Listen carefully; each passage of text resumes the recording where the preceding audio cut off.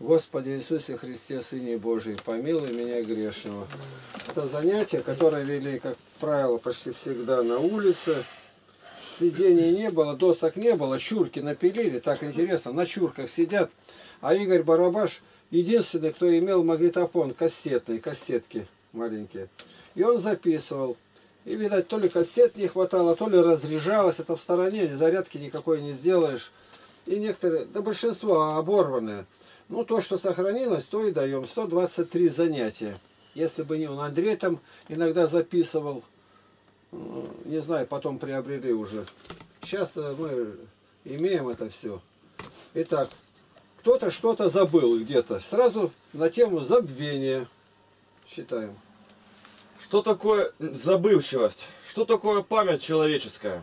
Это является настолько сокровенным, тайным, великим, что медики по сегодняшний день толком сказать и не могут. Душу они не признают, а только колебания молекул, нейтронов, аминокислот и ДНК. Библия много говорит о, среди... о сердце и голове. Будем так и думать, что память и мысли связаны с этими органами.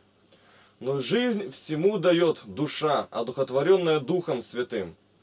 Наша жизнь и отличается тем от жизни животного, что в первую очередь есть у человека разум, совесть. Многолетние наблюдения позволяют сделать уже заключение, что забывчивость не считает люди преступлением чем-то столь лишь важным. Через день опять то же самое, что уже проходили, что отвергли. Потом глубже заглянули и увидели вещи страшного покроя, что все в жизни людей направлено на истребление памяти. Не на сохранение и улучшение, а на полное уничтожение. Абсолютно все брошено против разума, против памяти, чтобы человек не думал, не запоминал. За него сейчас это машины сделают, кассеты, магнитофонные записи. Я недавно выставил э, изречение Чингиза Айтматова. Это писатель киргизский. Он сравнивает желудок и мозги то желудок более приспособлен к жизни. Если лишнее выпил или съел, он извергает из себя. А мозг человека накапливает все, и даже хотел бы забыть пакость какую-то, но умышленно собирает это. Вот и разбирайся, что для нас важнее, живот или память. Самые современные средства медицины, психологии, электроники направлены на то, чтобы человека сделать манкуртом, чтобы он забыл прошлое, забыл свой народ и принял антихриста. Манкурт, Манкурт, это как раз Чингиз Айтматов ввел в советское время, журнал выходил такой, роман, газета называлась. И это, роман этот назывался у него э, «Буранный полустанок», так, кажется, назывался. Когда воевали, захватывали в плен, давние времена, ну и брали на отбор самых лучших юношей – ну, кто воевал, тому в плен их и отдавали. Но они их приготавливали к тому, что хотели с ними сделать. Они-то ничего не знали. Кормили их хорошо. И вдруг обстановка меняется. У них голову брили ножом острым на несколько раз. Совершенно, чтобы голая голова была. Увозили их в степь, где никого не было, не видели их. И заковывали специально на колоды, на ноги не поднять ничего нельзя, и руки закрыты у него. И убивали верблюда, и на шее самая толстая кожа. И они ее сырую кожу натягивали на голову, на лысую, притягивали. И не давали им ни есть, ни пить. Многие погибали на солнце, они, говорят, в блевотине, в испражнениях лежали, ну, руки-ноги-то связаны, на это уже не смотрели. И волосы, пробиваясь проходили через шкуру. Она плотно натянута была, она ссыхалась на солнце, стягивала голову, мозги. Это страшные боли были где-то. И, наконец, эта шапочка из верблюжьего, э, из верблюжьей кожи прирастала к нему. И вот это были манкурты. И они с ними теперь... Все, памяти не было. Они не знали, кто они, откуда, кто мать, кто отец, где род. Ничего не знали. А этот, который приходил теперь, их освобождал, гладил, обмывал их, и они понимали, это спаситель, это будущий хозяин. А он им наговаривал, я хозяин, это вы мои, вы мои дети, Это нужно было пастухи, разные где-то в степях были. Если какая-то придет женщина к тебе и будет говорить, что надо тебе память там вернуть, это враг, она хочет снять с тебя шапочку, то есть самое болезненное. То есть мать, кто придет, он уже убьет ее. И он ввел это название не зомбированный, как сегодня придумали, там у зулусов взяли, а именно манкурты соответствуют, манкурты советские. А роман напечатали не поняли. Коммунистические идеи Маркса и Энгельса прилепили к голове, преподают научный атеизм, в школах-то. Вот тебе манкурты получились, ничего не знают, разворовывают, убивают, насилуют. Я все думаю, вот в советское время стали публиковать многое. Когда в Германию вошли, то кто там, Жуков, дали власть. Насиловать женщин сколько вам надо. И насиловали, убивали, и что только не делали. Страшно сказать, речь шла о сотнях тысяч изнасилованных. Большие, маленькие дети ни на что не смотрели победители достойны. У нас были немцы, поэтому, ну и бежали кто куда. Я говорю, стал искать. А немцы, когда были на завоеванных территориях Франции, везде были изнасилования. Что интересно, ни одного. Сотни тысяч звериных отношений с женщинами и ни одного у захватчиков. Ни одного ни в Нидерландах, ни в Швейцарии, ни в Советском Союзе. Не было. Они просто удивлялись, исследователи, что так много девственниц, когда отправляли в Германию, будто бы Гитлер сказал, такой народ непобедим. А судя по этой фразе, сегодня воевать не с кем-то. Их уже в восьмом классе одни блудницы на букву «Б». Вот и все. Почему? Потому что там был строжайший закон. И даже кино ставят сегодня там, и немец ее уговаривает, чтобы вышла замуж за него, а он знатный дворянин, отправить ее в Германию, фильмы показывают. Ни одного изнасилования в советских фильмах не показали. И по сегодняшний день нигде нету. Ну, можно это было прекратить. И считаешь, сегодня страшно. Это англичане пишут немцы, немцы, которые советские, которые сам насиловал, и он выступает в интернете, все есть. Поэтому нам есть с чем сравнивать. Что и как. Дальше. Каждого необходимо закодировать. Надо пометить и черную занозу ему в мозги, чтобы где-то кнопочку нажал, и все вскинули бы руки вверх. Хай антихрист. Чтобы каждому дать определенный номер, и никаких тебе фамилий, имя, отчества, никаких данных запоминать не нужно. Нажал кнопку и поползла информация. И тогда уже человек будет полностью послушным в руках того держателя всех физических и моральных акций, кто будет манипулировать судьбами мира, кто приведет к единой системе ценностей. Иоанна 5.43 «Я пришел в имя Отца моего, и не принимайте меня, а если иной придет во имя свое, его примете». 2 Фессалоникийцам 2.4 «Противящийся и превозносящийся выше всего, называемого Богом или святынью, так что во храме Божьем сядет он как Бог, выдавая себя за Бога. Делается попытка вторгнуться не только в поступки, но и в мысли человека. Научить человека мысли так, как желает сверхправительство. Сейчас пока что идут опыты, чтобы вышибить память полностью. И потом кнопки решат участь твоих раздражителей.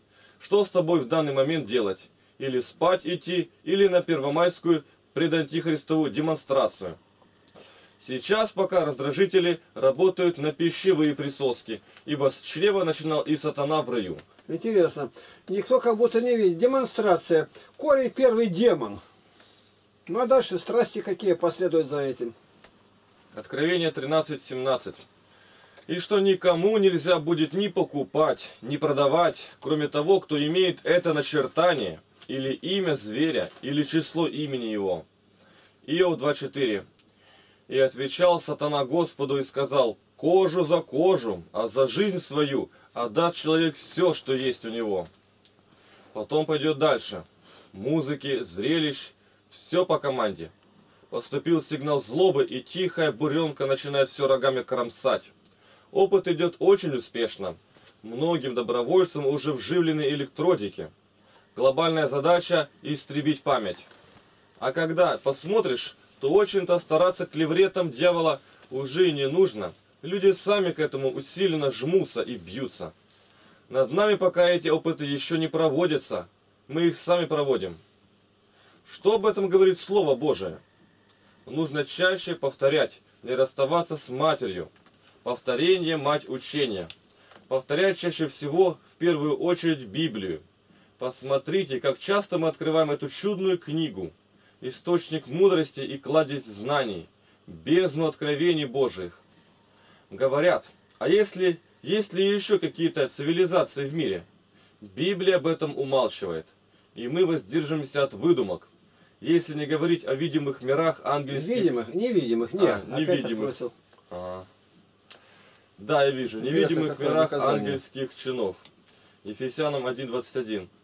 Превыше всякого начальства и власти, и силы, и господства, и всякого имени, именуемого не только в всем веке, но и в будущем. Ты говорил, не отбросил или сказал, где не надо. Наоборот, если не, то отбросить, а если нет, не добавить. Что следующее там, следующее нет. Я сказал, не в этом дело. Нету, нигде даже слова не, нету. Ты, почему это так? Ты сам должен исследовать. Почему? Притом это многократно. Так, Дальше. Не повторение, мать забвения. Иисус Новин 1.8. Да не отходит вся книга закона от уст твоих, но поучайся в ней день и ночь, дабы в точности исполнять все, что в ней написано. Тогда ты будешь успешен в путях твоих и будешь поступать Ну, благоразумно. наоборот, наоборот, не будешь успешен, не будешь благоразумно поступать, если эта книга отойдет от уст твоих. Не будешь поучаться в ней день и ночь. Сегодня двунадесятый праздник. После литургии снова мы вместе собрались к ногам Христа. И кого среди нас нет? Тех же самых, Жени Янчук и Плотникова Мити. Почему? А им это и не надо. Почему же не надо? Потому что душа в забвении. Иов 11.6. И открыл тебе тайны премудрости, что тебе вдвое больше следовало бы понести. Итак, знай, что Бог для тебя некоторые из беззаконий твоих предал забвение. Когда человек умирает, Умрет. умрет, то уже без толку хлопотать о его знаниях. Он с тем багажом в сердце и пойдет на тот свет. Псалом 87.13 На ответ. Ты прочитал на тот свет. на ответ.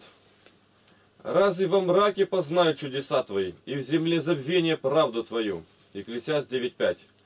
Живые знают, что умрут, а мертвые ничего не знают, и уже нет им воздаяния, потому что и память о них предана забвению. Самые грозные слова в Библии Бог говорит против тех, кто уводит людей от закона Божия к своим выдумкам. Так это же говорится о нас. Прямо относится к православным горе-пастырям. Еремия 23-27.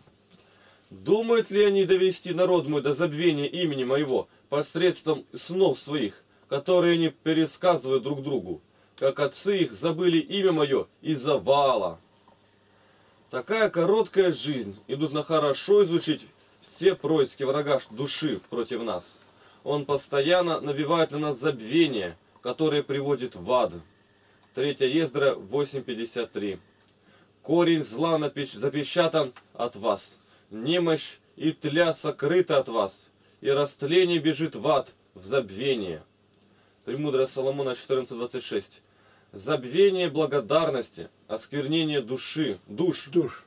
превращение полов, бесчиние браков, прелюбодеяние и распутство. Превращение полов. Понятно? Это садомитство, вот это лесбиянство, все такое. Превращение полов. Премудрость 16.11. Хотя они и были уязвляемы в напоминание им слов твоих, но скоро были и исцеляемы, дабы впав в глубокое забвение он их, не лишились твоего благодеяния. Премудрость 17.3. Думая укрыться в тайных грехах, они под темным покровом забвения рассеялись, сильно устрашаемые и смущаемые призраками. Премудрость 19.4.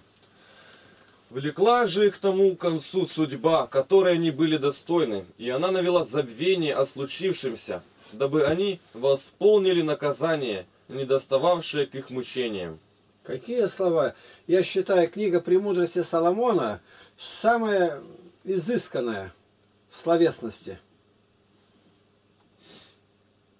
Так, Сирахова 11.25. В дни счастья бывает забвение и не о несчастье, и в дни несчастья не, вос- не вспомнится от счастья. Сирахов 11.27. Минутное страдание производит забвение у тех, и при кончине человека открываются дела его. Бог указывает нам, что Он помнит и что придает забвению, чтобы мы Ему в этом подражали. Сирахов 35.6. Жертва праведного мужа благоприятна, и память о ней незабвенно будет. Бог наводит иногда на злодеев забвение, чтобы они забыли о своем намерении и тем споспешествуют своим чадом, спасая их. 3 Маковейская 5.18. Выслушав это и изумившись предложению необычного выхода, он совершенно обо всем забыл и спрашивал, что это за дело, которое он с такой поспешностью исполнил. Было же это действием властвующего над всем Бога, который навел на ум его забвение обо всем, что он сам прежде придумал. 6.18. Они стали против войска и исполнили врагов смятением и страхом, и связали неподвижными узами. Также и тело царя объял трепет, и раздраженную дерзость его постигла забвение. Марина, передай Мите, что придет время, он поищет эти занятия, но уже ничего этого не будет. Пророк Амос 8.12. Я хочу сказать, как раз уехали они в Грецию, и мы были, и Митя сам считает книги, все изменилось. Видите как, но я э, сохранено, как было тогда в первые годы. Это занятия, это в Потеряевке были, я к конкретным людям обращаюсь. Амос 8.12. Амос, опять Амос. Амос, Амос. Амос 8.12. И будут ходить от моря до моря, и скитаться от севера к востоку, ища слово Господня, и не найдут его.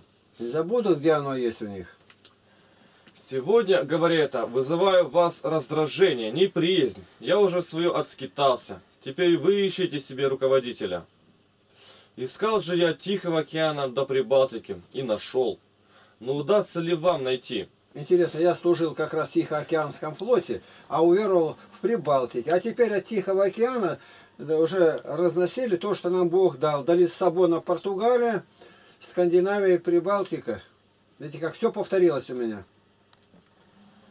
Так, но удастся ли вам найти? Когда людям предлагалось, и они не отвечали, то он предупреждает, что когда вы будете к нему взывать, он вам не ответит. 3 Ездра 1.26. Когда будете призывать меня, я не услышу вас. Сирахова 2.14. Горе вам, потерявшим терпение. Что будете вы делать, когда Господь посетит? Мои призывы к вам услышаны ли вами, или только по за углам судите меня? Это я обращаюсь к жителям Потеряевки. Иов 12.4. Посмешищем стал я для друга своего. Я, который взывал к Богу, и которому он отвечал, посмешищем человек праведный, непорочный. Исайя 52. Почему?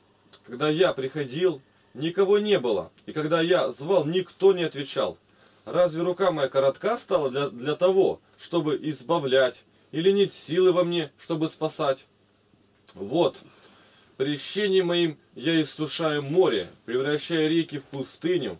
Рыбы в них гниют от недостатка воды и умирают от жажды. Исайя 65, 12.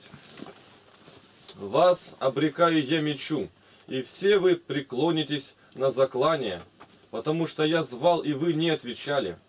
Говорил, и вы не слушали, но делали злое в очах моих, и избирали то, что было неугодно мне. Иеремия 7, 13, 16. И ныне, так как вы делаете все эти дела, говорит Господь, и я говорил вам с раннего утра, а вы не слушали, и звал вас, а вы не отвечали, то я также поступлю с домом сим, над которым наречено имя мое, на который вы надеетесь, и с местом, которое я дал вам и отцам вашим, как поступил с Силомом. И отвергну вас от лица моего, как отверг всех братьев ваших, все семя Ефремова. Ты же не проси за этот народ, и не возноси за них молитвы и прошения, и не ходатайствуй предо мной, ибо я не услышу тебя. Бог является для нас таким, какие мы для Него. Осия 13.7. Вот сказал слово, вот как-то, как Бог для нас такой же, смотрит, как мы поступаем. Да, И сразу место Писания. Вот сейчас только мы начали считать, и сейчас я уже попутно подсчитываю. 33 раза я обратился, привел места из Библии. 33! А еще пятую часть не прочитали занятий. Прочитали. Это в то время не было на, ни канонической, ни симфонии, ничего. Я должен был на память это все приводить. Беседовали, готовился. Пророк Осия 13.7. «И я буду для них как лев, как скимен буду подстерегать при дороге». Что может быть в памяти, если кроме телевизора не знает ничего? Что в отзвуках сердца может быть? Писк ребятишек, хрюканье свиней, роптание жены. Это может быть отражено в мозгах. А здесь бы ты получил утешение у Христа. О чем мы просили в начальной молитве перед занятиями? Повторение. Какое же повторение, если и не читал ни разу? Что будет душа повторять? Там даже мачехи нет, а пустота и лохмотья от кавычках трудов. Какая мачеха? Повторение мать учения. Заслуги. Забыли, для чего живем, для чего сюда съехались. У нас есть зять, Володя Устинов, вводит тяжелые электропоезда и рассказывает, что пройдет 3-4 месяца и уже полная переэкзаменовка, переподготовка. И он сидит над учебниками. Вот если бы так над Библией сидели, готовились пересдать знания свои, мизерные, о спасении душеньки. Если не сдал, то потерял все. У учителей тоже есть переподготовка. Как же нам-то надо заниматься, чтобы Слово Божие заговорило с нами? У врачей также идут переэкзаменовки. А у христианина? Как же ты думал, что покрестился, и ты уже совершенным стал? В небо идешь и не нуждаешься? За все лето не пришел, и в прошлое лето не был. Не был. И когда с ними говоришь, то какие они чужие, каким холодом от них веет могильным. Совсем-совсем чужие, как будто из чужой деревни приехали на один день. Чего за это время достиг, кроме дробилки? Дробилка это зерно дробить для свиней. А свиней держал много, даже до 100 голов. Бессмертная душа нуждается в разных подкормках, чтобы аппетит был, чтобы разнообразие утешало, вразумляло душу. Если на костюм попали пятна от облепихи и уже забрали ее в стиральную машину, а на душе столько, сколько пятен за один день, она ли не нуждается в обновлении, в чистке?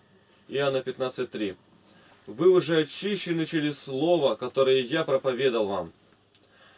Если нет в душе Слова Божия, то уголовный кодекс уже подпирает тебя со всех сторон. Что же могут они сказать о забвении? Да ничего.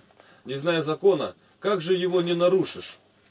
Все силы ада брошены против того, что называется разумом. Что ты учил 10 лет назад? Что ты из этого помнишь? Ну, когда в школе был-то? Забвение, как сорняк, заглушило все, что знал тогда. Были когда-то у меня любимые предметы в школе и в техникуме, но у меня сейчас уже ничего не осталось в голове, кроме навыков руками делать. Формулу Герона не выведешь, умори тебя голодом. Я люблю перечитывать школьные учебники и постоянно этим занимаюсь. Но если ни разу не читать, то выдало бы до порошинки последней. Задача не потерять, не уступить надвигающейся старости то, что уже достиг стараюсь и все равно теряю.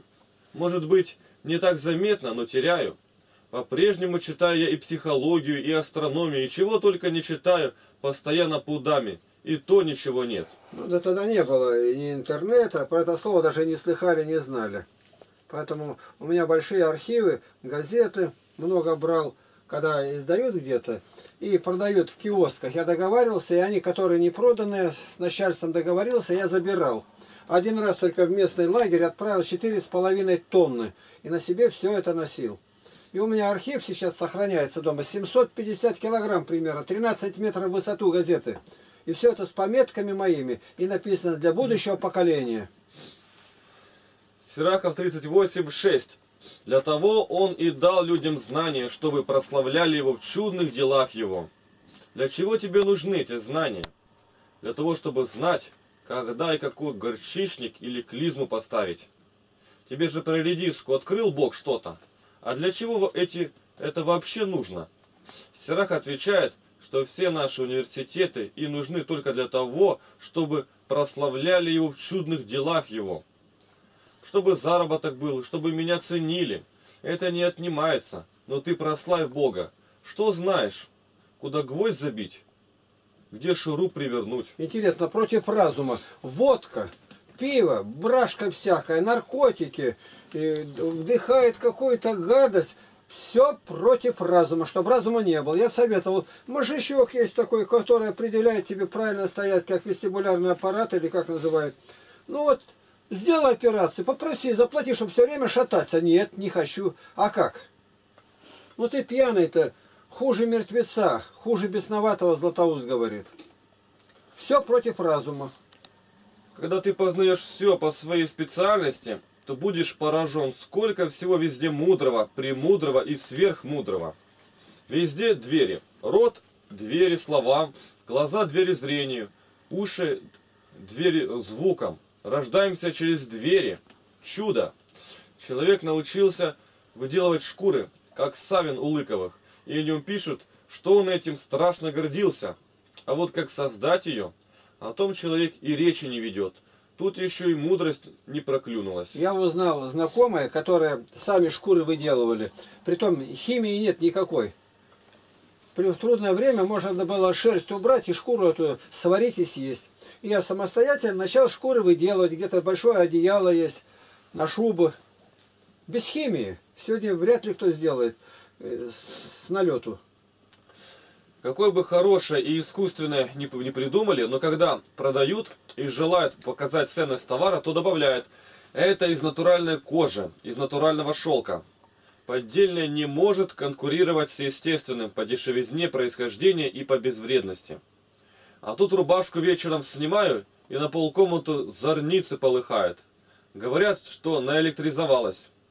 Да что я, Лейденская банка, когда из хлопка рубашка, то если ее снимаю, никогда нет ничего этого. Помните, кто и что сделал для нас? Выхожу из дома, а дом старый, купеческий, как говорят, и тепло-то как в нем самые лютые морозы. Прославь Бога, душа моя. Я тут ничего не делал, а живу в этом доме, радуюсь. И вот уже душа наполняется благодарностью Богу за неведомых мне людей. Нельзя быть из Иванами, не помнящими родства. Человек сегодня все достижения науки бросает за уничтожение разума. Для чего же человек пьет? Только для того, чтобы забыться, отвлечься. Мне бы расслабиться надо немного. Горе у меня такое, говорят. А у другого радость, квартиру получил. А мыть ее надо. А моет алкоголем в желудке и в горле. И за все отвечает кошелек и мозги. Убить разум и самое главное, убить голос Божий, чтобы он не достиг души. На пьяную руку что ты можешь понять или услышать? Дьявол это прекрасно знает.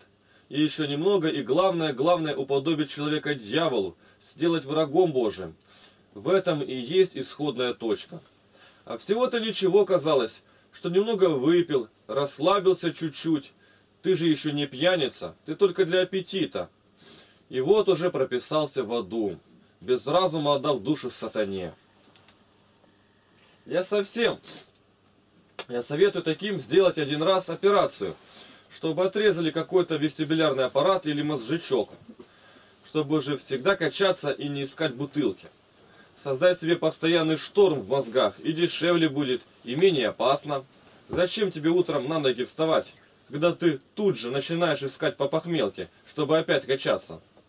И когда дерутся, то в первую очередь бьют по голове и стреляют в голову. Брошюры разные сектантские, еретические, атеистические, и все бьют по мозгам, чтобы отшибить память о вечном, чтобы они помнили, как жили раньше, и что же ждет за гробом. Так, как жили все вместе огромными прайдами. Прапрадеды жили вместе с молодыми, а сейчас всем надо поврось, отдельно. Пытался классифицировать, когда память желанна, а когда наоборот, желательно забыться. Иногда молитва «Избави меня от забвения», а иная, а иная молитва о том, чтобы не было воспоминаний злых и лютых. В молитве много из того, о чем нужно помнить, как и о чем молиться. У меня было много ненужных знаний, и я стал о том прямо молиться. И вдруг стою, и в мозгах как чистый лист. До этого не мог продраться из этого чертополоха, а тут встал, и вдруг одни места Писания звучат. Некоторые, что я Писание знаю, на память перевожу, в это верят. А то, что у меня было старое, там, анекдоты, я такой был, говорится, душа общества. И все внезапно Бог убрал, в это не верят. Почему? У них этого не было. И мне всегда вспоминаются слова Григория Низкого, брат Василия Великого. Он говорит, люди верят в то, что могут сами сотворить. Только в это. В течение одной недели сделался как Исааки Печерский. Вдруг все забыл и заново начал учиться. Забыл сотни и тысячи анекдотов, все до единого. Языками занимался, и вдруг все это исчезло начисто.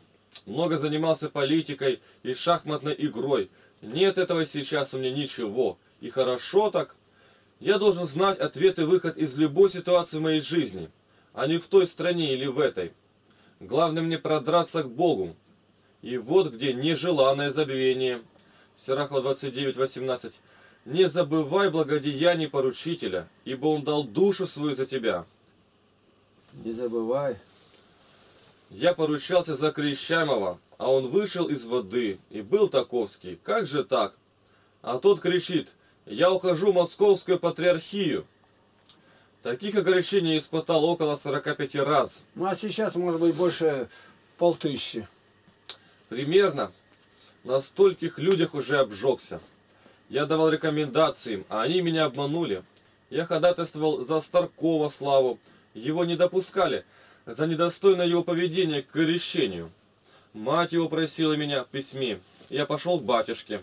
Может быть, Слава потом все же одумается, исправится. Он обещает быть другим, послушным, не хамить, не ерничать, не пить.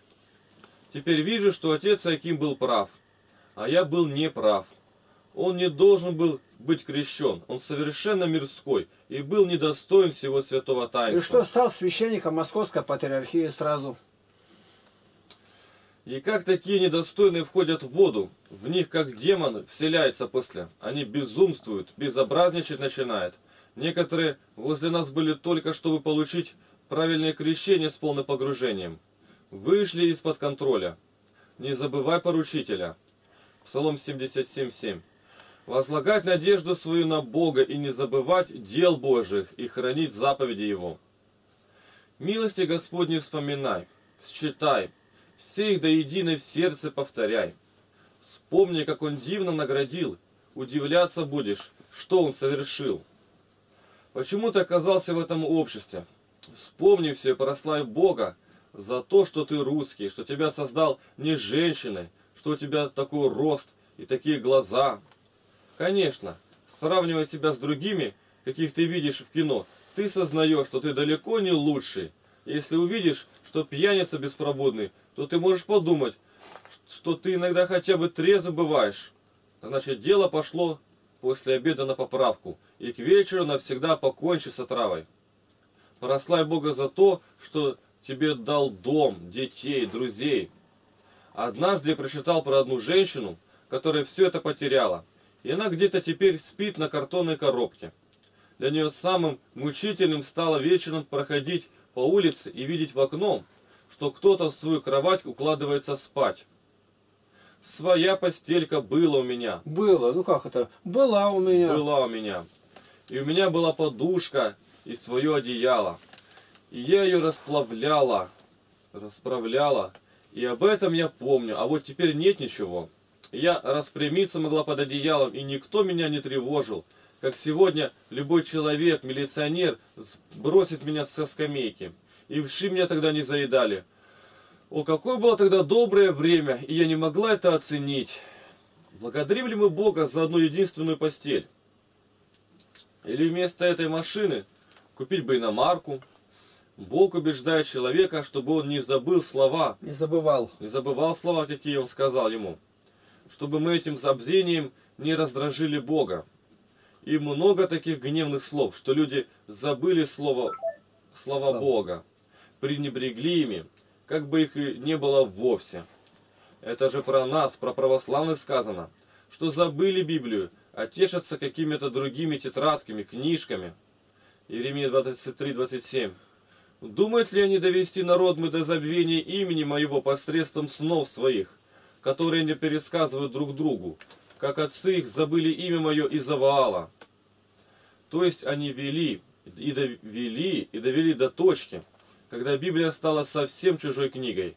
И если ты читаешь Библию, то ты для православных уже чужой. Ты баптистом будешь зваться отныне. Главные враги спасения сегодня те, кто загорели вход в царство Отца. Лука 11.52. Горе вам, законникам, что вы взяли ключ разумения, сами не вошли и входящим воспрепятствовали. Матфея 23.2. И сказал, на Моисеевом седалище сели книжники и фарисеи. И как не пытался бы вывод увести в сторону причин, какие называют пастыри, но вижу, что главная причина это богослужение. Это ужасно произносить, тебя сразу же обвинят в ересе. Не богослужение само, ибо богослужение все правильное, святое, назидательное, но то, что ему дали неподобающее место.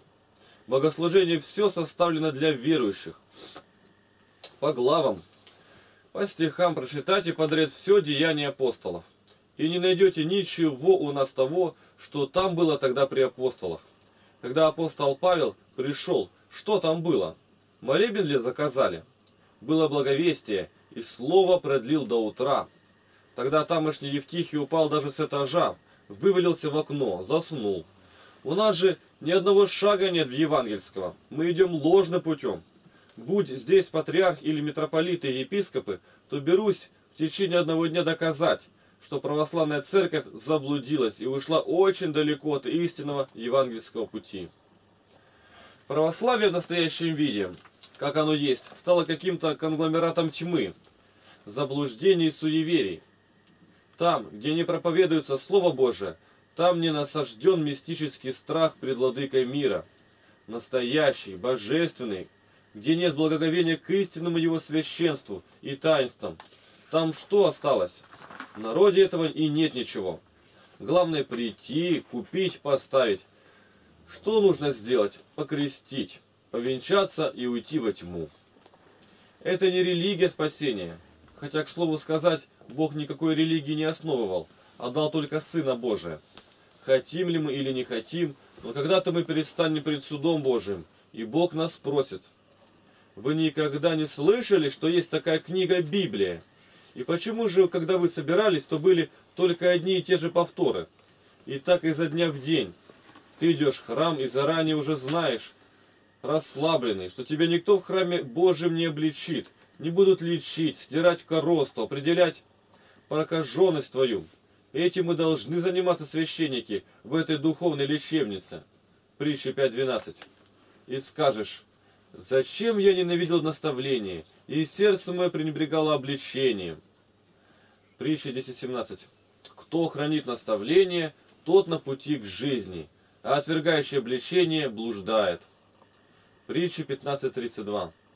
Отвергающий наставление не радеет о своей душе, а кто внимает обличению, тот приобретает разум. 2 Тимофея 3.16. Все Писание богодухновенно и полезно для научения, для обличения, для исправления, для наставления в праведности. Митрополит Иона говорит, что святые отцы не показали пощады. И мы не будем показывать по отношению нарушителей. А у нас священники только с бочками елея и ходят. Ни отлучений, ни эпитемий. Почему они так делают? Церкви ныне вообще намертво забыты каноны, преданы забвению святые правила собора вселенских и поместных – а и нет о том тревоги. Что патриарх или архиереишка не знают про это? И спят спокойно, спят в сладких снах, уплывая в вечность, и не знают, что их ждет страшный ответ за такое забвение строгости. Из какого бы состояния ни шел человек, не выдравшись из греха и преступления, он тут же к чаше приступает. Лживые и вредоносные пастыри, губители душ. Почему не все время читает житие Марии Египетской, в котором нет ни одного евангельского шага и полностью умалчивает житие Макария Александрийского за 19 января. Тогда точно так же шли люди к причастию, и их приветствовали с причастием вас, с принятием христовых таинств. И только этот святой, приезжавшись у стены, видел ужасную сцену, где вместо руки священника с лжицей, ложечкой, и вместо диакона с платом стоят черти, толкают людям в рот уголь адский, и руки у людей крест-накрест сложены, и поют «Тело Христово примите, источника бессмертного вкусите». И запивочку подают в чашечках, просфорочкой закусывают, и блаженно закрыли глаза. И встали без клироса благодарственной молитвы и слова радости прочита- прочитать. Слава Иисусу Христу!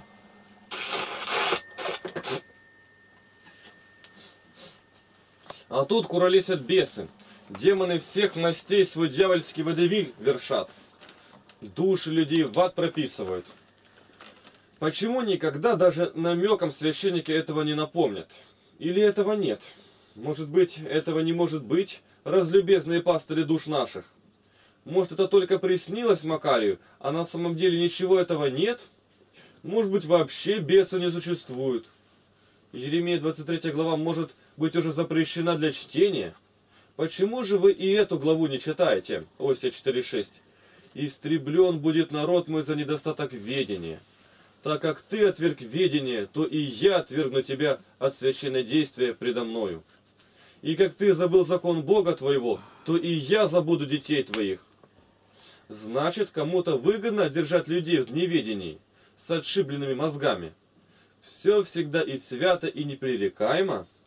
И все, кто разинул рот и проглотил что-то, уже на примете у Бога, и уже ему вход открыт в райские обители. Почему нам никогда не читают в храме нигде ни разу? И патриарх об этом молчит, что благословения священника могут и не быть благословением, превращаются в проклятие. Слово Божие об этом говорит. Феофан Затворник говорит. Священник говорит, благословляю. А Бог из слова своего говорит, не благословляю. И что будет утверждено на небе? Малахия, пророк 2.2. Если вы не послушаетесь, и если не примете к сердцу, чтобы воздавать славу имени моему, говорит Господь Саваоф, то я пошлю на вас проклятие и прокляну ваше благословение.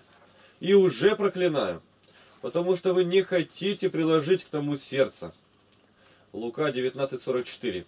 И разорят тебя, и побьют детей твоих в тебе, и не оставят в тебе камня на камне за то, что ты не узнал времени посещения твоего.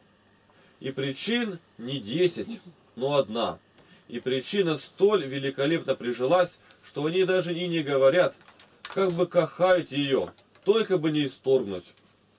И как ты забыл закон Бога твоего, то и я забуду детей твоих. Иеремия 23-27. Думают ли они довести народ мой до забвения имени моего посредством снов своих, которые они пересказывают друг другу, как отцы их забыли имя мое из Заваала? Столько столетий вели, вели и привели к той станции, где запрещено помнить о Слове Бога, но приветствуется забвение Слова Божьего.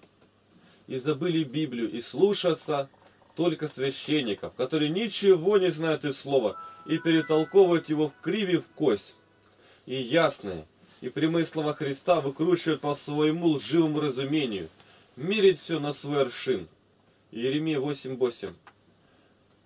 Как вы говорите, мы мудры, и закон Господень у нас, а вот лживая трость книжников, и его превращает в ложь.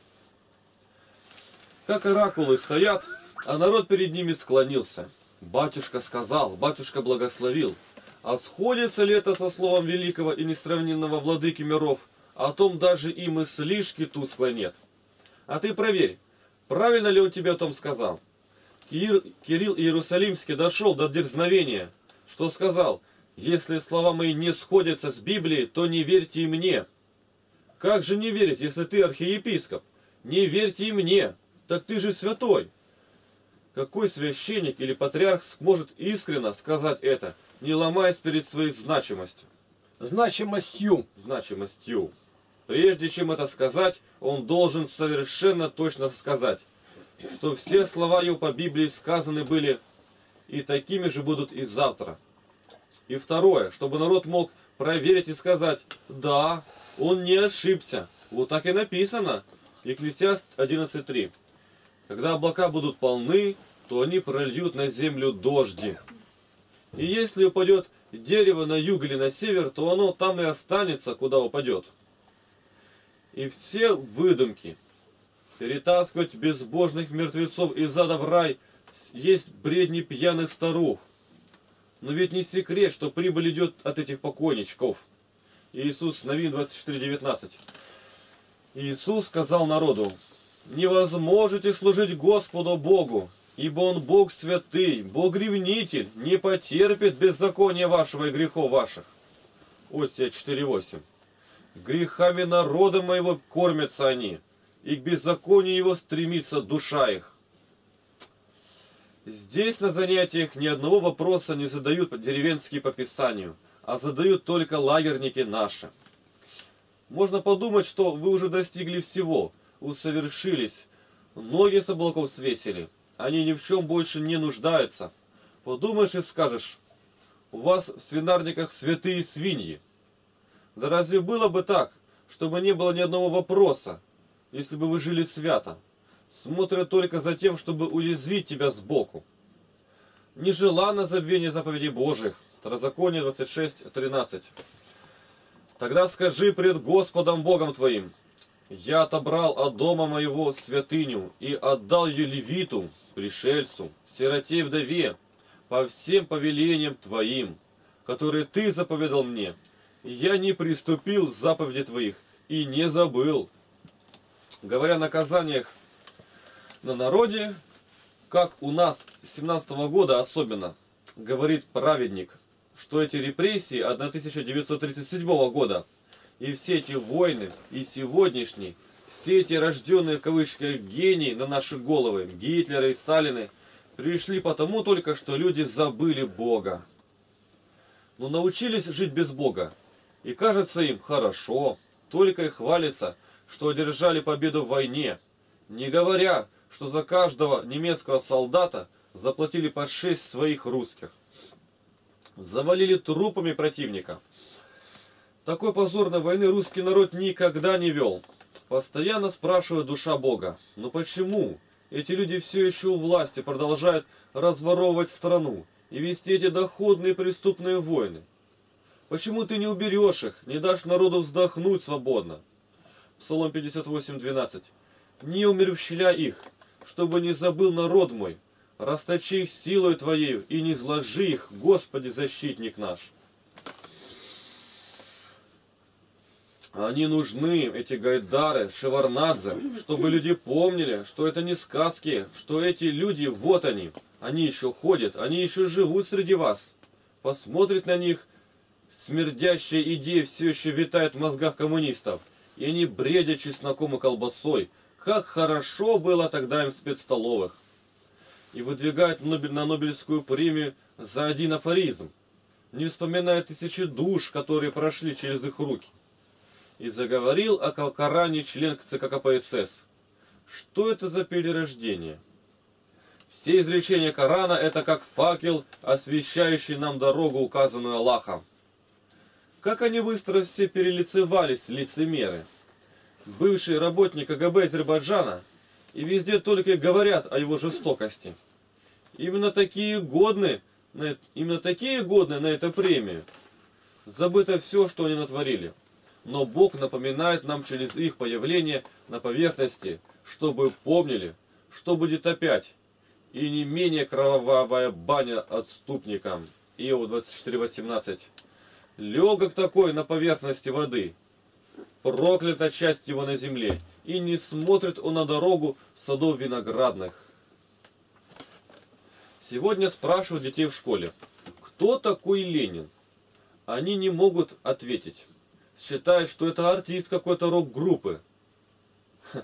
Очевидно, смешивая вождя протолериата с Джоном Ленноном.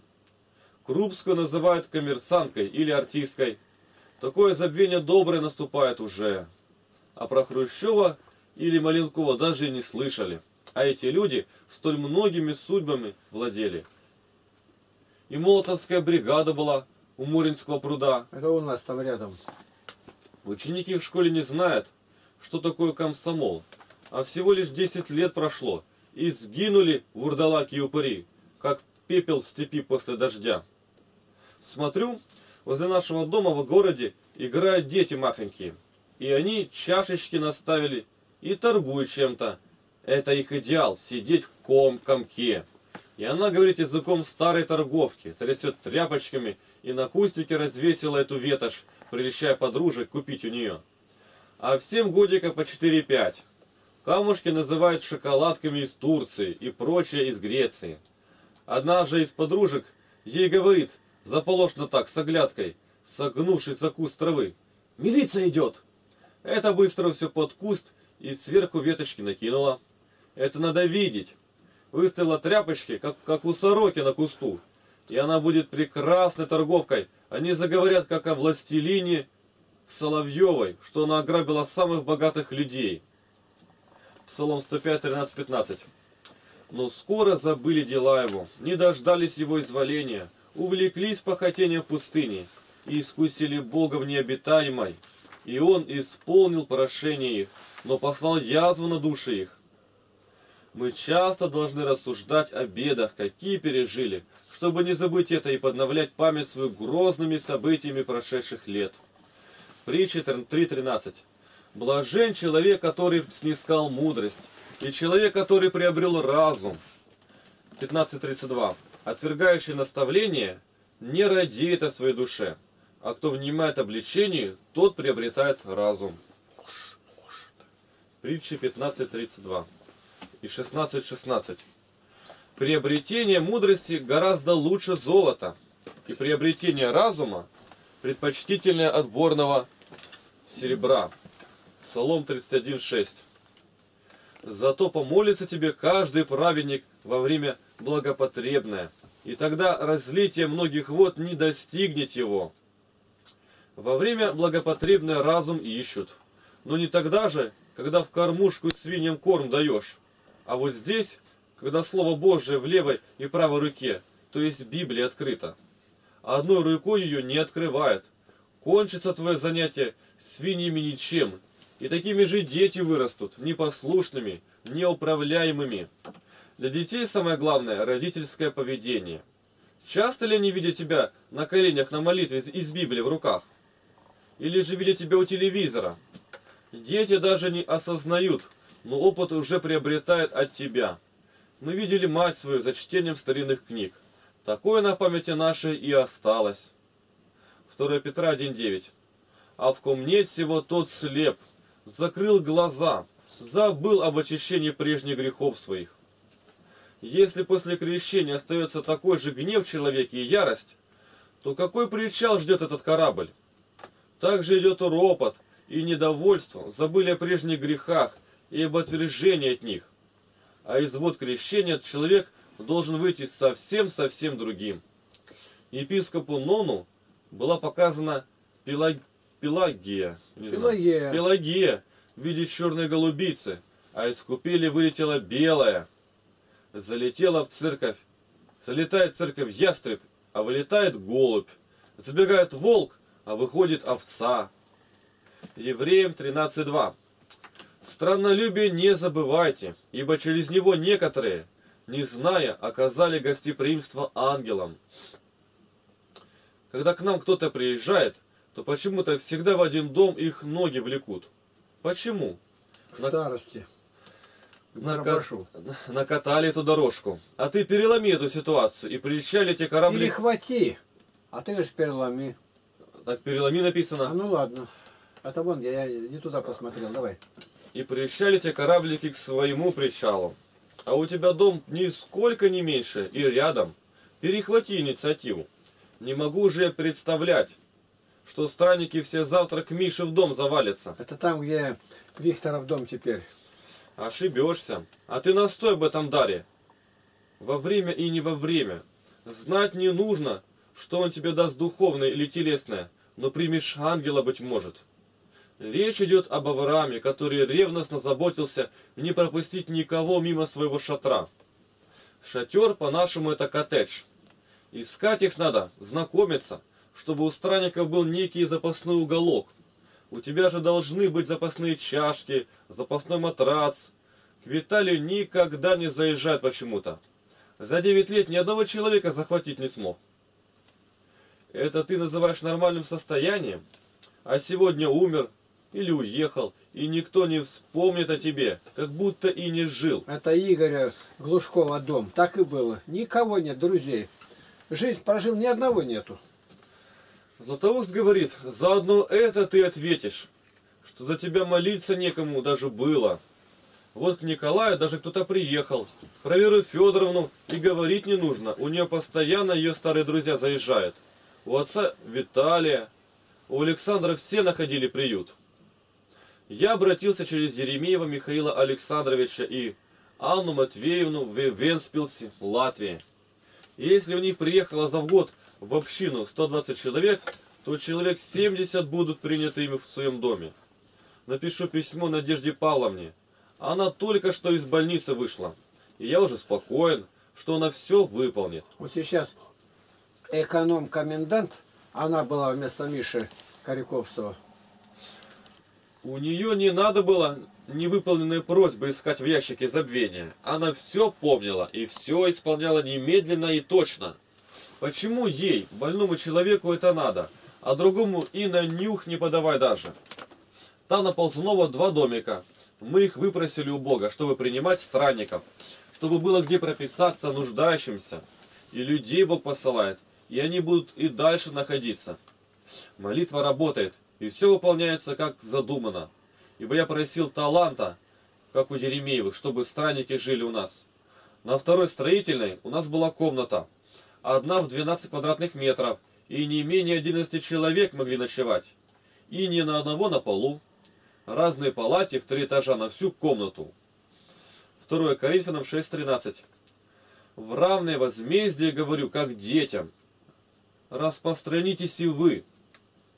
У нас ночевали и баптисты, и адвентисты, и старообрядцы. Всем было радостно. И из разных городов были эти люди, притом постоянно. Мы ходили в те годы к баптистам, и у них люди хорошие есть, и они к нам заезжали, и других научили к нам пробиваться. Это так интересно, что-то новое узнаешь. А сколько десятков подпольщиков из разных городов России. Из них 32 человека одновременно пришли в церковь. Какие они все хорошие, жертвенные. Очень хорошие. И не думай, что они меня объели. Они с пустыми руками никогда не поедут. Они такие заботливые. Да это я им обязан даже большим, чем они мне. Они были вне церкви, подпольные, там священника не было. А теперь и паспорта пожгли, ничего у них нету. Но все выращивать. И тут в монастырь везли, везли и везли. Как едут, так сумки полные. Евангелие от Матфея 19, 27, 29. Тогда Петр, отвечая, сказал ему, «Вот, мы оставили все и последовали за тобою. Что же будет нам?» Иисус же сказал им, «Истинно говорю вам, что вы, последовавшие за мною, паки бытии, когда сядет Сын Человеческий на престоле славы Своей, сядете и вы на двенадцати престолах судить двенадцать колен Израилевых. И всякий, кто оставит домы, или братьев, или сестер, или отца, или мать, или жену, или детей, или, зем... или земли, ради имени моего, получит во сто крат и наследует жизнь вечную. Не забывайте о страноприимстве. Помните, напоминайте друг другу о страноприимстве. Вот ты строишь дом, и уже заранее провозгласи в уши Создателя – что вот в этом доме у тебя обязательно будут странники всегда. Кого-то, может быть, даже и докормить беспризорного, немощного. Я дострою эти хоромы для всех ангелов твоих, кто бы они ни были, московская или патриархия, или коммунисты. Но если он нуждается в данный момент, то помоги, обогрей его, не дай ему помереть. В моем доме они все услышат великую и радостную весть о Христе. Здесь мы вместе прославим моего Иисуса. Аллилуйя! Но нет этого. Живет в своей скорлупке. Со мной разговаривает старая христианка. Она много бедствовала без квартиры. И теперь дочь ее на квартиру в очереди. И я говорю им, пустите ли на квартиру добрых христиан? Пустите ли? Да. Ударение Мы- на «у». Да что вы! Мы так набествовались, нам бы только передохнуть. Хочется побыть одним и самостоятельно. Но вот так и, и умерла моя дорогая. Умерла. Так и умерла. Умерла моя дорогая. И не жила в своей квартире. Получается, что сам всю жизнь по квартирам хожу. И так и не научился ничему. И вы тут думаете, что вот хорошее что-то достали. И как это размножить и дать другим. Это тоже странноприимство. Ты обеднелого принял свой дом. Чем ему пришельцу помочь в технике и лошадью, подучить, сказать утешительное слово. Прими человека на день, на два, и может у тебя в доме у себя устроишь собрание. Ссылается на Малую площадь. Вот вы здесь, на Саманном домике у нас собрались. Какая же тут площадь? Мешает то, что мы уже выкинули. И такие огромные, по 6 метров столы и скамейки изготовили. А вот рядом скворечник сделал уже зал на 60 человек. Можно потесниться, и войдет 80 человек. И везде все электрифицировали, и везде можно магнитофоны включать. Есть где пищу приготовить, и уже свадьбы сыграли у нас. Как тут уютно. А росла крапива, и не было где воробьям отдохнуть. Теперь такие гости отовсюду у нас, и пресс-конференции. И где? По Теряевке. Расширьте сердца ваши, и стройте с расчетом, чтобы у вас было где страннику побыть, голову преклонить. Надо мной смеются всю жизнь, что в комнате у меня везде плацкарты. На Ползунова два общежития устроил, и живут какие славные ребята и девчата, сыграны свадьбы, сразу шесть одна за другой. А сколько было трапез и собраний духовных, тут же ярло песни слушаем и радуемся общением. Страхнитесь, не живите как кроты в своей норе под кучей своих интересов. 2 Иоанна 1.4 Я весьма обрадовался, что нашел из детей твоих, ходящих в истине, как мы получили заповедь от Отца. Бытие 41.51 И нарек Иосиф имя первенцу Манасия, потому что говорил он, Бог дал мне, дал мне забыть все несчастья мои и весь дом отца моего. Цените настоящее, и прошедшее да будет уроком. Екклезиаст 9.12 Ибо человек не знает своего времени, как рыбы попадаются в пагубную сеть, и как птицы запутываются в селках, так сыны человеческие уловляются в бедственное время, когда оно неожиданно находит на них. Не зарекайся от тюрьмы да от сумы. 3 Ездры 16.21 Но при всем этом люди не обратятся от беззаконий своих, и о бичах не всегда будут помнить. Должны и помнить, и не забывать, чтобы не поглощенными быть скорбью. Псалом 44.11 «Слышь, дощери, смотри, и преклони ухо твое, и забудь народ твой и дом отца твоего». Если ты пришел к Господу, то не тянись к прошлым удовольствиям и товарищам. Забудь тогдашние игры и выпивки, и новогодние празднования. Теперь у вас все новое – Какие у тебя были навыки? Здесь такой порядок, так и держи его. Ты обрел православную семью, дом Божий. Здесь миллионы спасенных.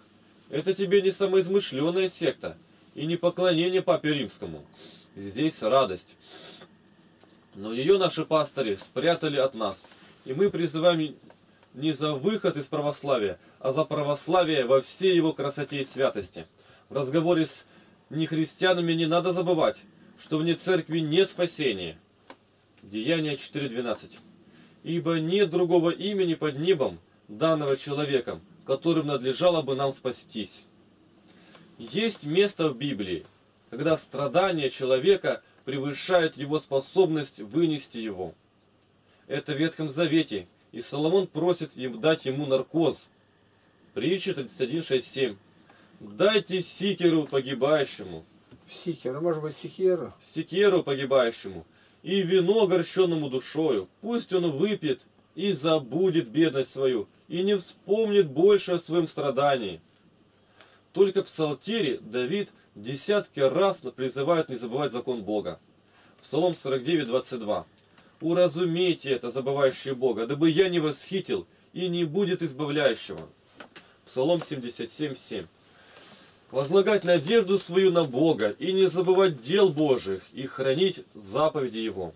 Вот где развивается память, и забывчивость улетает прочь. Псалом 102.2. Благослови душа моя Господа, и не забывай всех благодеяний Его. Псалом 118.16. Уставами Твоими утешаюсь, не забывай за слово Твоего. 118.61. Сети нечестивых окружили меня, но я не забывал закона Твоего. 109 стих. Душа моя непрестанна в руке моей, но закона Твоего не забываю. 141 стих. Малдя и презрен, но повеление Твоих не забываю. 153 стих. Возри на бедствие мое и избавь меня, ибо я не забываю закона. Псалом 136.5. Если я забуду тебя, Иерусалим, забудь меня, десница моя. Столица Израиля. Вожделенное воспоминание для православного даже и в невыносимом... Правоверного. А, правоверного. И в невыносимом плену.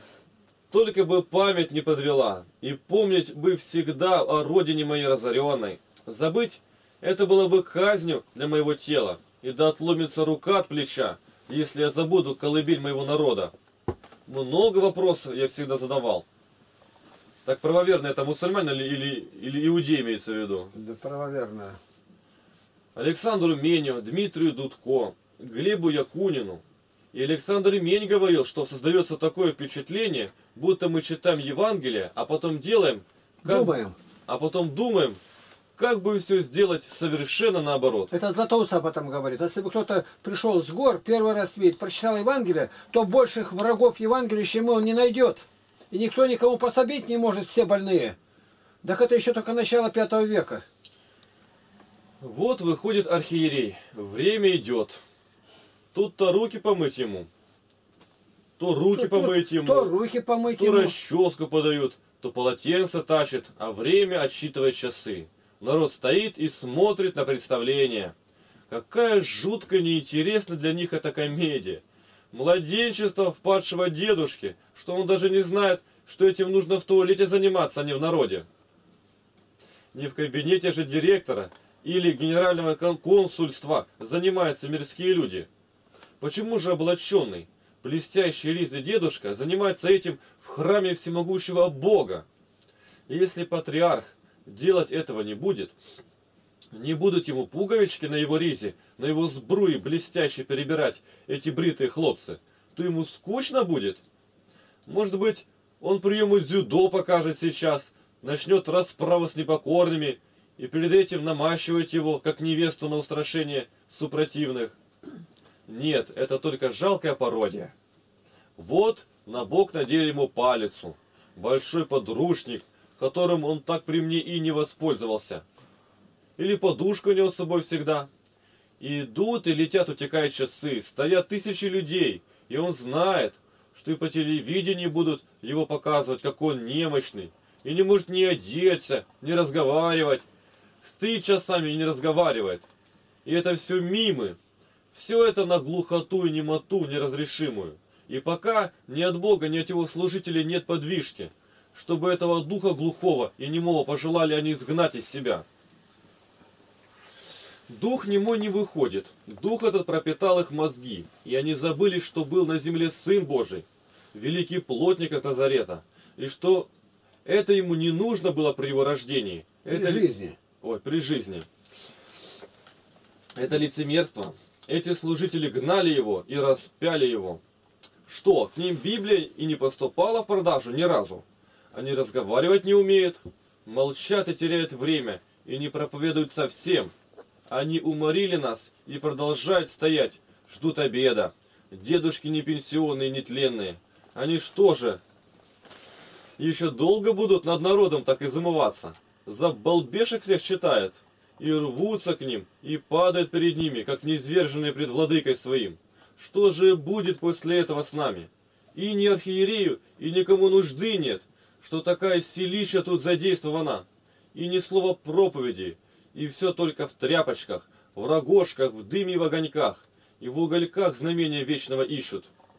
Почему диакон не проповедует, как Севастьян в житиях святых? И у нас тут было три священника, и не было проповеди. И я сказал, что же вы как идолы тут стоите и молчите? Трое, и ничего нет. так и отпустили народ. Не осипли, не изгорбились на подготовке проповеди сгорбились. не сгорбились на подготовке проповеди, считая это за нормальное состояние. Большая часть священников погибает, говорит Иоанн Златоуст. Из трех выходит двое уже не в раю. Или каждый думает, что его участь будет иной. Что это про Михаила плохо сказано, да про Николая, а про меня хорошо. Ох, как они не любят эти слова, по их замыслам что как только пробился к поповскому корыту, так и путевку в рай тебе уже оформили, в патриархии, и ты уже не чужой небесным, а свой. Ефесянам 2.19. Итак, вы уже не чужие и не пришельцы, но сограждане святым и свои Богу. Рад бы, чтобы так и было, но делайте все так, чтобы только не спастись. Довели народ до забвения Слова Божия. Люди даже и не спрашивают про Библию кто отвергает Библию, Бог им говорит, что можете не сжечь свечи, по углам не стоять, Осия 4.6, и истреблен будет народ мой за недостаток ведения. Как ты отверг ведение, то и я отвергну тебя от священнодействия предо мною. И как ты забыл закон Бога твоего, то и я забуду детей твоих. Господи, я же молюсь тебе, за что же такой приговор? Отойди от меня, потому что ты забыл закон Божий и не прославил Бога за великую милость общения с Ним через Слово Его. Может оказаться, что все, кроме Библии, бред больного ума. Сны рассказывают Серафимы Гавриловны, бреднями пьяных старух назвал Златоуст этих сновидец. Были великие полководцы, как Александр Македонский, который помнил тысячи солдат по имени. Свердлов знал на память сотни адресов явочных. И Наполеон, и Гитлер обладали феноменальной памятью. Люди поражались их памяти, они ничего не забывали. Но вот и они проходят, приходят в возраст, как Рейган. Пошли на кухню, и стою не могу вспомнить, зачем же я туда зашел. Президент США. Когда Ленин скончался, то одно из полушарий мозга у него было с грецкий орех, а в кровеносные сосуды даже волос не проходил, и он еще подписывал тысячи смертных приговоров. Или такие люди должны быть у власти? Были наказания такие у Бога для Нифонта, Исаака Печерского, у которого полностью была отнята память. Потеряли вдруг и веру, и знания. Но они знали, что нужно молиться, и продолжали кланяться по привычке, будто только что родились, учились ходить и держать ложку. Это напоминает наше состояние. Не литургия, а летаргия для многих. Даже примерно не знают, что и к чему. Проспали и пошли до следующей встречи. В народе называют это девичьей памятью. Почему же девичья? Видимо, не научили в семье покоряться Слову Божию. Поется песня «Своих друзей не забывай». Это, конечно же, о твоих поручителях, о благожелателях. Зэки часто пишут наколки на себе «Не забуду мать родную». Я их спрашивал, хотела ли твоя мама, чтобы тебя дома не было, и ты тут сидел? А как же она могла этого желать? Сейчас с мамой общаешься? Ты забыл наказ матери жить по-честному. Не пей, сынок, не пей, сынок, не пей, не воруй. А ты говоришь, не забуду мать родную. Ты первым делом ее забыл, намертво, ее наказа. Вот Андрей, кажется, Дементьев об этом и пишет. Стихотворение. Сирахов 11.25. В одни счастья бывает забвение о несчастье, и в одни несчастья не вспомнится счастья. Только что Нерон пальцем показывал, что нужно умертвить, и тут же переворот. И вот он сплескивает руками. Как же все так могло закончиться? Так же было и с царем Николаем, и с Чаушеску. В рассказе Льва Толстого «Упустишь огонь, не потушишь» говорится, как сосед по злобе поджигает соседа. И тот увидел это, и вместо того, чтобы из-под соломенной застрехи выхватить клок, Застрехи. застрехи, клок сена, бросился на соседа. Тот и, и так бежал бы. Да что же я наделал-то? А теперь сгорели коровы и куры и все. Только бы выхватить, только выхватить. Теперь он это всю жизнь и во сне видит. Почему же забываем, когда еще ссоры нет, а только бы сотворить молитвы, попятиться и прославить Бога, что ты успел выбраться из этого пламени. У нас в армии был матрос, который пуговку отказался застегнуть. Потом ему наряд вне очереди, а он и там начал гордебачить. И так пошло, что уже на гауптвахту. И, наконец, трибунал. И он уже убиваем там. Там ты уже никто. Там из тебя косточки вытряхивают. А всего-то пуговочка. Да он бы сейчас сто раз ее приглотил. Да не вернешь. Как мы забываем, что нужно помнить это «упустишь огонь, не потушишь». Смотри, что у нас было с Сашей. Не с малого ли началось? Не хотел он остаться, не послушался батюшку. И пошел, и попер, и сгорел. Во все тяжко опустился, и двор его зарос под крышу крапивой лебедой. Деяние 1.20. В книге же псалмов написано, да будет двор его пуст, и да не будет живущего в нем, и достоинство его да примет другой. Страшно даже смотреть, как спалил дом свой полностью, и все равно пишет еще письма, что ему Христос встретился, и он такой веселый. У меня все хорошо. С Богом мир. Храните себя от идолов. Саша, 27 августа 2002 года. Как бунтовал против снятия погонщиков с одежды. Мало что у вас не положено. Хочу и ношу. А тогда не носите шинелей. Полный крах постиг гордеца. Знамения уже были ему несколько раз. Сам себя поджигал.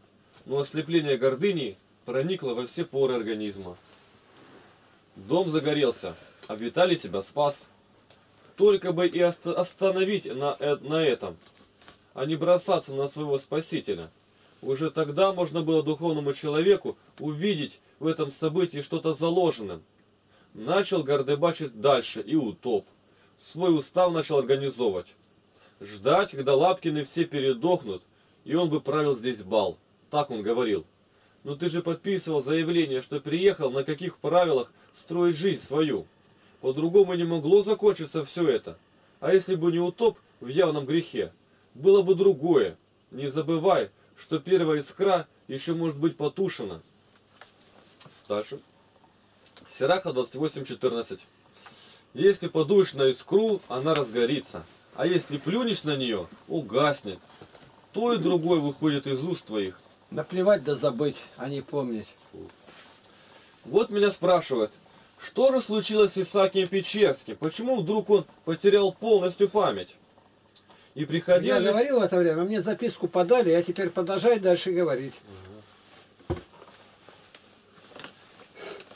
И приходилось ли мне в жизни встречаться с подобным несчастьем? Приходилось, и даже не раз. И причина всегда одна и та же – грех. В житиях указывается и причина. Возомнила себе, что он выше других и ближе к Богу, и готов Бога принять был своей резиденцией. Недавно встретился с одним таким братом в очередной раз, и он уже после окончания одного высшего заведения загорелся окончить еще одно, совершенно не видя, что произошло с ним после крещения. Он ослабел в памяти и почти вышел из-под контроля и родителей, и священника. Но он сам пришел ко мне, чтобы получить благословение на свою учебу. Прошел уже год, и сбылось, что я ему говорил. Он за год и четверти псалма одного не мог выучить, а собирался выучить все 150 псалмов наизусть. И что выучил, первые 13 стихов 118 псалма уже наполовину забыл. Но вроде стал вести себя тише и почти незаметно проработал лето. Да поможет ему Бог. Договор. Я такой-то, такой-то, такого-то года рождения, окончивший Алтайский государственный университет, экономический факультет, выразил желание получить специальность учителя физики или другой естественно-научной дисциплины, химии, биологии. Но Лапкин Игнатий Тихонович, 1939 года рождения, 62 года, имея опыт жизни, как мне кажется, больше, чем я, не советует мне этого делать, мотивируя это тем, что будто бы я слаб головой. И мол, это настолько вредно мне, что я могу просто сойти с ума и закончить жизнь в дурдоме. С этим я не согласен вполне. То есть не считая, что не способен закончить девятимесячные занятия, а если закончу, то сойду с ума. Он же советует мне больше молиться и заучивать наизусть места Писания или запомнить целиком псалтирь по Библии. Для подтверждения своей правоты он предложил мне испытать себя следующим образом.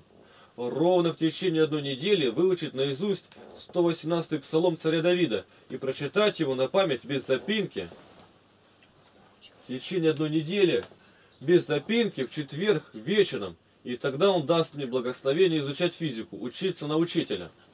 Если же я не выучил, то я обещаюсь больше никогда не заводить разговор об учебе мирских заведениях. Не имеется в виду обучение в заведениях, где обучают рабочим специальностям. Каменщик, плотник, сварщик, электрик, сантехник, радиомонтажник, автослесарь и так далее и тому подобное. А техниками дополнительно уточнить. Мы ударили друг друга по рукам, крепко пожали друг другу правые руки в присутствии отца Нафанаила Судникова. Это не распространяется на самостоятельное обучение доброму, божественному и всему, что связано с этим.